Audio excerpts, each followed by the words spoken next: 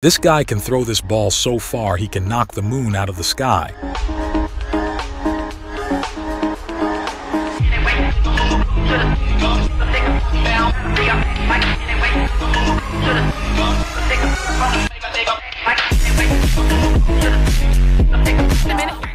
Hopefully, no one is near those buildings.